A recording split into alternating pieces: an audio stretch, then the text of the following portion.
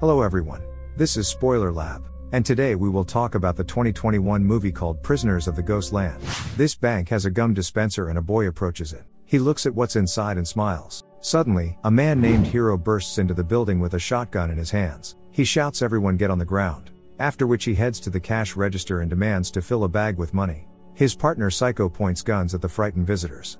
The boy turns away from the machine and offers some chewing gum to Psycho. He gets a gun pointed at him. Several years pass. It's evening in Samurai Town. A girl named Susie, sitting on the balcony, gives someone a sound signal, noticing that the guard has left. Out of the alley comes her older sister named Bernice, who intends to escape from her tyrannical grandfather. Upon arriving at the car, Bernice tells his girlfriends that now they will do whatever they want.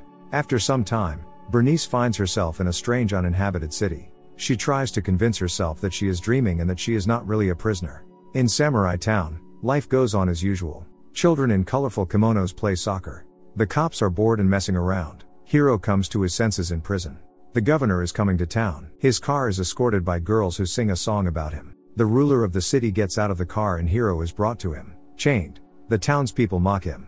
According to the governor, some time ago, Hero robbed a bank and killed many people in the process, including a boy with chewing gum in his hand. The governor says that his granddaughter Bernice, whom he loves very much, is missing. He wants to bring her home as soon as possible, and Hero will have to help him. Susie jumps out of the car and asks not to bring her sister back, because their grandfather is truly evil. The guard gives the man a black leather suit to wear on the mission. The sheriff informs him that the highway leaving Samurai Town leads to Ghost Land, a place where it is better not to go.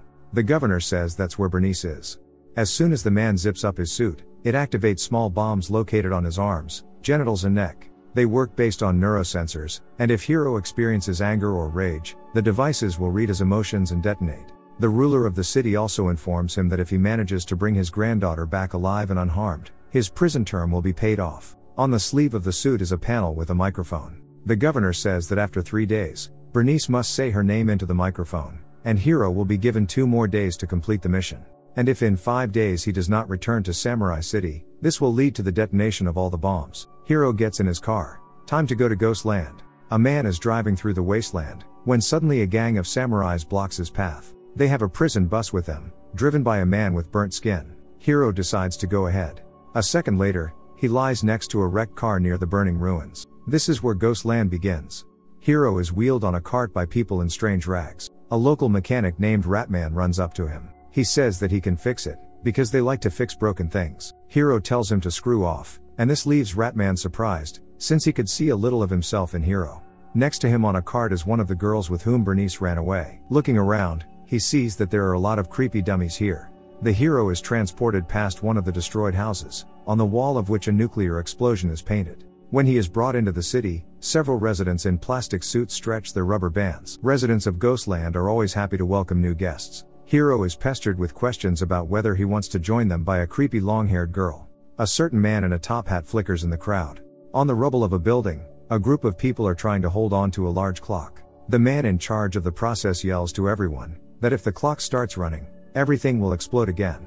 An elderly preacher named Enoch comes up to Hero. He says that the man has clearly gone astray and turned away from God. Hero can no longer bear the madness that is taking place and informs those present that they are all crazy.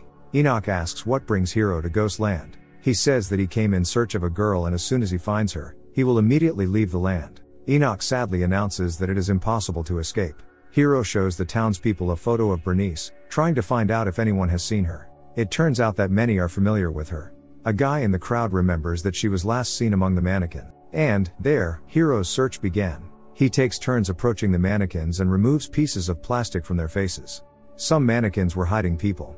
A man in a top hat bustles around him. He calls the plastic figures his masterpieces and says that they do not tolerate such treatment. The hero soon finds Bernice covered in mannequin body parts. He tells the girl that she will go with him, but she is silent and does not react to what is happening. Enoch tells him that Ghost Land has taken away her ability to speak. According to the preacher, Bernice must regain her voice herself if she wants to survive. Hero yells at her, but the bomb on his arm begins to react to the tone of his voice, so he has to calm down quickly.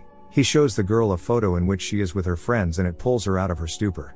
While Hero is leading Bernice, the people of the city ask him not to leave, because the ghosts are too strong. He takes the cart with the girl out of the city and refuels the car. From the speaker on the suit, the governor asks Bernice to say her name, but she doesn't respond to his request. Hero grabs her by the neck and demands for her to say her name, but the bomb around her neck starts flashing red, forcing him to calm down.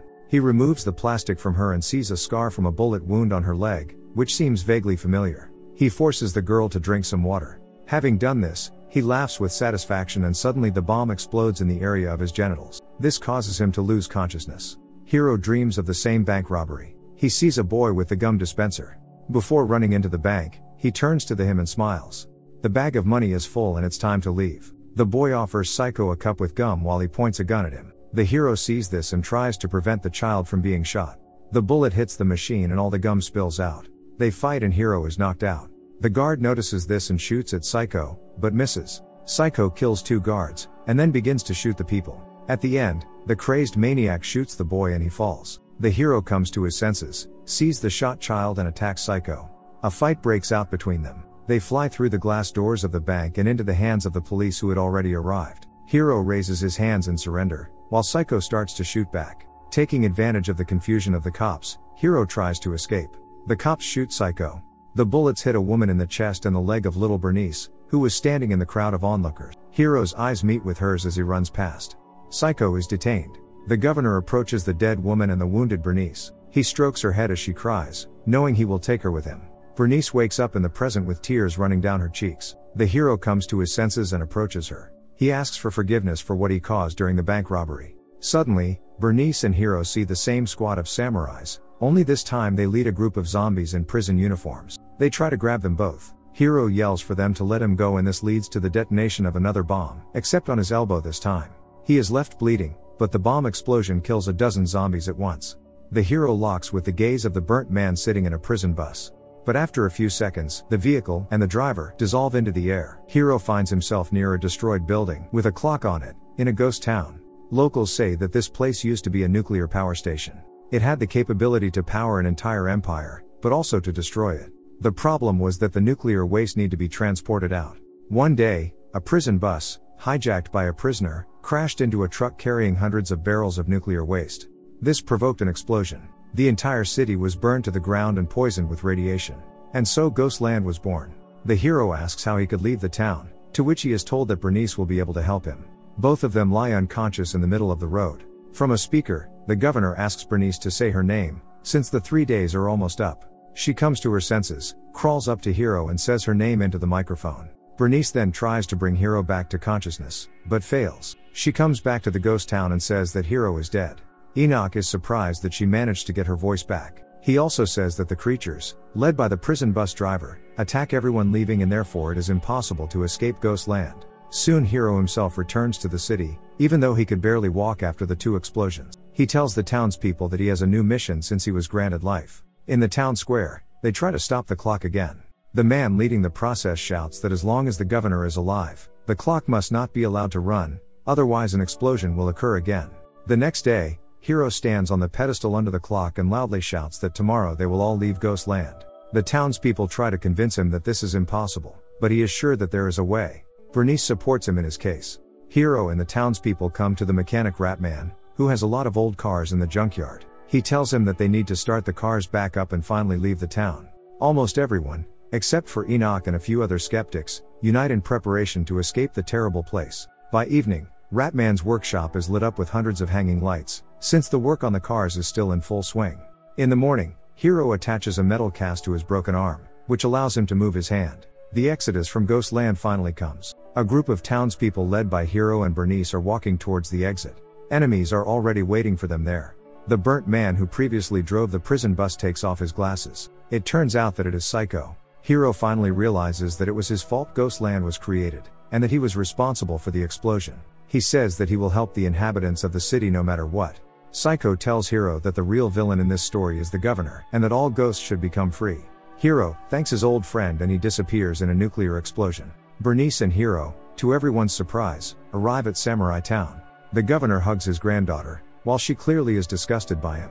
He ignores Hero's request for a key from his suit. He then takes Bernice hostage. Suddenly, Susie runs up to a machine gun and begins to shoot all the governor's guards. She is wounded by a surviving guard. The remaining guards encircle Hero and Bernice. One cowboy shoots Bernice and they are separated. In the crowd, Hero sees a bank boy who smiles and runs away. So he understands that he needs to protect her. Hero starts a battle with the guards. The governor flees, while Bernice tries to take her wounded sister away from the battlefield. She is blocked by samurais and has to run back. Hero gets a sword and begins to fight his enemies even more fiercely. Bernice and her sister sit in an alley. Her sister is injured and she tries to calm her down.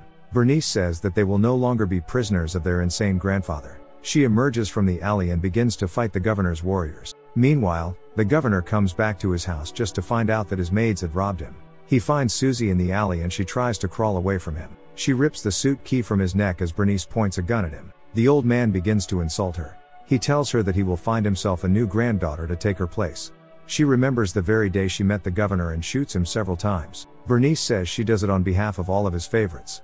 A few seconds before the detonation of Hero's suit, he opens it with a key and deactivates the bombs. Bernice and Hero lock eyes. News of the death of the governor reaches the ruined city.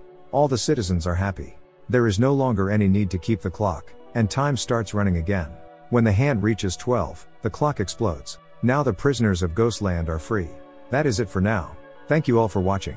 What movie would you like to see next? Let me know in the comments. See you next time.